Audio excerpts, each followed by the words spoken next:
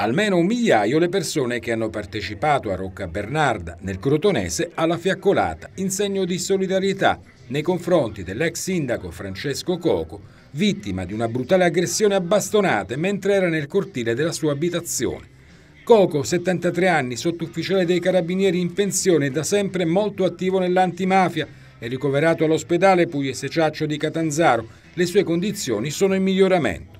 All'iniziativa hanno partecipato associazioni, cittadini e amministratori locali del territorio. È stata una manifestazione molto partecipata perché eh, la gente eh, vuole vivere in tranquillità, vuole che eh, questo paese, questa comunità eh, venga, venga eh, ricordata ed esca fuori dal, dalle nostre mura, consentitemi questo termine, un messaggio reale del, del, paese che è un paese fatto di persone laboriose, di persone per bene, di persone che fanno sacrifici per mandare avanti le loro famiglie. Intanto il Tribunale dei minorenni di Catanzaro ha disposto la custodia in un istituto minorile per i due diciassettenni accusati dell'aggressione a Coco. I due sono accusati di tentato omicidio pluriaggravato e violazione di domicilio.